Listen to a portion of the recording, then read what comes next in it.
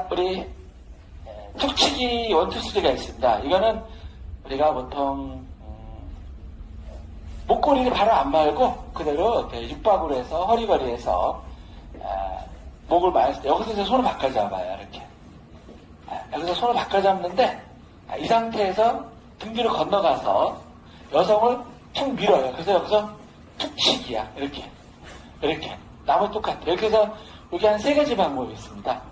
자, 다시 보면, 에, 지금 이렇게 목을 말았을 때, 툭치기, 좀 용어가 좀 쌍스러운데, 에, 이 상태에서.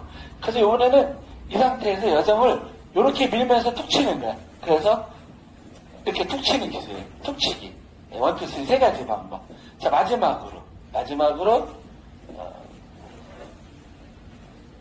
자, 이 상태에서, 아, 이번에는 아, 건너가서, 어, 건너가서, 아, 여성이 뒤로 올 때, 여성이 뒤로 올 때, 이렇게 치는 거예요, 이렇게.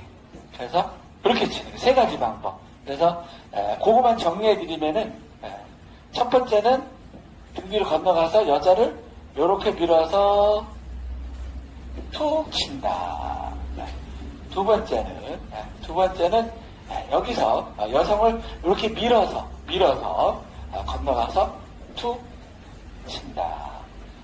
세 번째는 아, 이렇게 건너가서 여성이 올 때 이 상태에서 아, 이 상태에서 이렇게 미는 거예요. 이런 식으로. 그래서 이렇게.